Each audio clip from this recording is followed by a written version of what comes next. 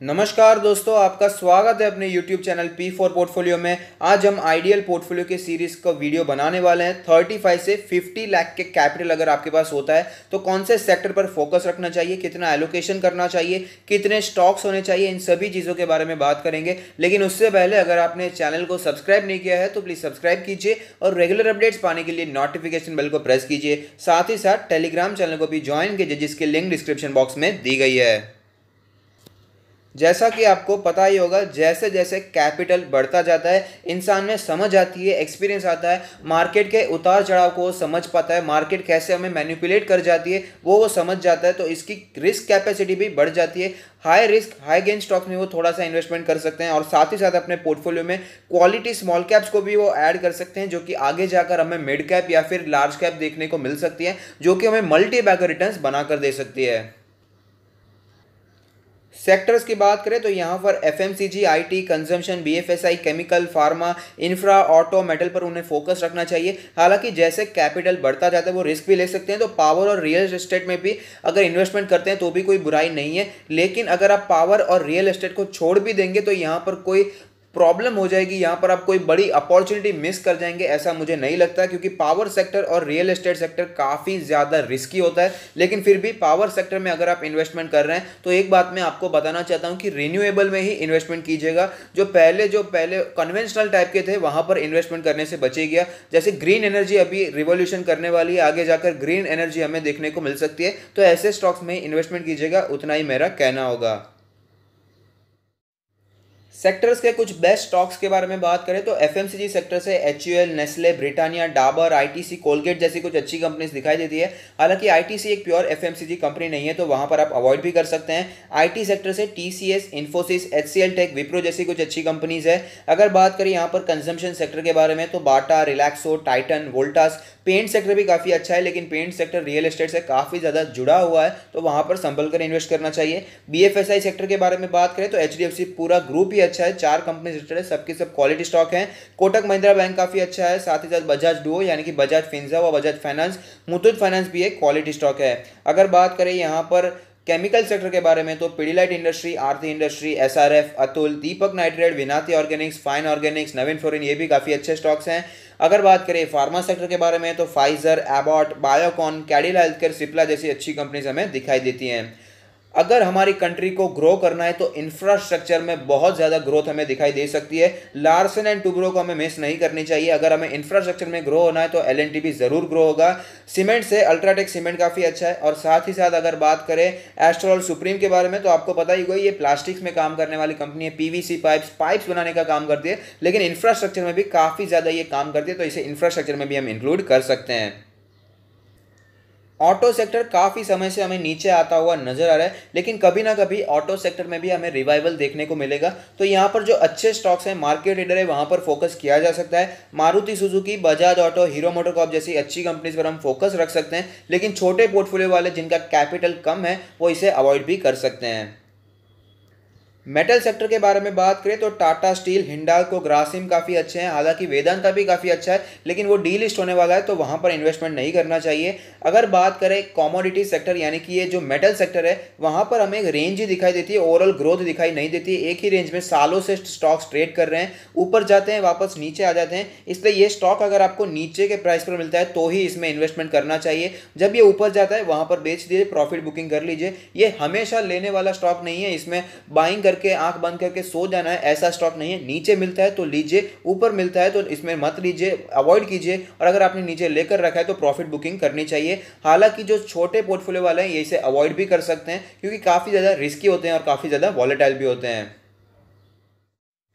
कितने स्टॉक्स होने चाहिए मेरे पोर्टफोलियो में, ये सबसे बड़ा सवाल होता है। तो जिनका पोर्टफोलियो 35 लाख से 50 लाख के आसपास का है, वो 30 से 35 स्टॉक्स पर फोकस बनाए रख सकते हैं। उन्हें एनालाइज करना भी काफ़ी इजी हो जाएगा, ट्रैक करना इजी हो जाएगा मैनेज करना इजी हो जाएगा। किसी के क्वार्टर के रिज़ल्ट आ रहे हैं, कुछ कमेंट्री आ रही है तो उसे भी आप अच्छी तरह से ध्यान दे पाएँगे। साथ ही साथ इन इतनी तीस स्टॉक्स में ही आप अच्छी तरह से डाइवर्सिफिकेशन भी कर पाएँगे और आपका ओवर डाइवर्सिफिकेशन भी होने से बच जाएगा। और एवरेजिंग करना भी ईजी हो जाएगा, जब मार्केट में हमें गिरावट देखने को मिलेगी।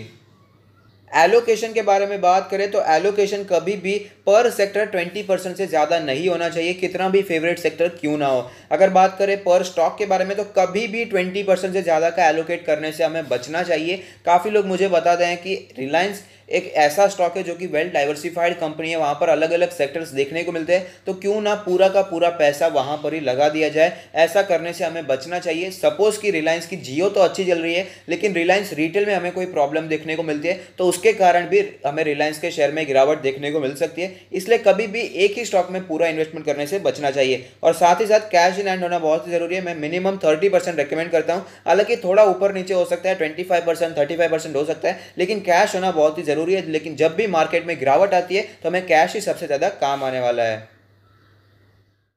मैंने एक आपके लिए एक मॉडल पोर्टफोलियो बनाया है जो कि पचास लाख का पोर्टफोलियो लेकिन पोर्टफोलियो के बारे में बात करने से पहले मैं आपको बता दूँ कि ये सिर्फ़ और सिर्फ़ एक एग्ज़ाम्पल है। यहाँ पर आप अपने हिसाब से स्टॉक्स चेंज कर सकते हैं एलोकेशन भी चेंज कर सकते हैं। मेरी तरफ़ से ये सिर्फ़ एक एग्ज़ाम्पल है कि कैसा आप पोर्टफोलियो बिल्डअप कर सकते हैं। और साथ ही साथ यहाँ पर मैंने बाइंग प्राइस नहीं लिखे, लेकिन काफ़ी लोग मुझे बता रहे हैं बाइंग प्राइस भी लिखनी चाहिए। कौन से प्राइस पर स्टॉक्स में हमें एडिशन करनी चाहिए? जब भी कोई अच्छा स्टॉक आएगा, अपने बाइंग प्राइस में मैं ज़रूर आपको वीडियो के माध्यम से बताता रहूँगा।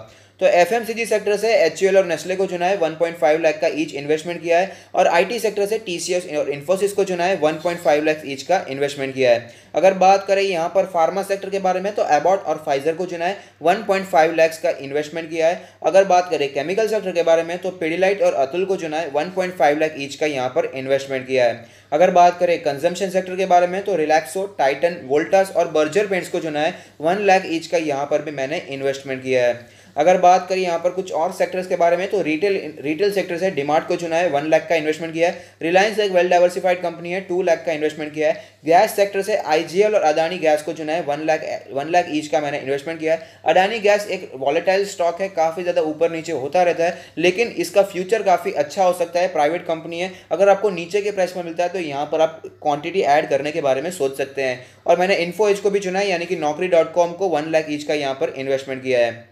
अगर बात करें यहाँ पर इंफ्रास्ट्रक्चर के बारे में तो मैंने एल को चुना है अल्ट्राटेक को चुना है और सुप्रीम को चुना है। वन लाख ईच का इन्वेस्टमेंट किया है और मेटल सेक्टर से टाटा स्टील को चुना है। वन लाख का यहाँ पर इन्वेस्टमेंट किया है। अगर बात करें यहाँ पर सबसे important B F S I sector के बारे में तो H D F C bank Kotak bank Bajaj Finserv Bajaj finance Muthoot finance one lakh each का मैंने यहाँ पर इन्वेस्टमेंट किया है। आगे भी कुछ स्टॉक्स हैं जो कि H D F C life और H D F C M C one lakh का यहाँ पर भी इन्वेस्टमेंट किया है। ऑटो सेक्टर से मारुति सुजुकी और बजाज ऑटो को चुना है वन लाख का यहाँ पर इन्वेस्टमेंट किया है।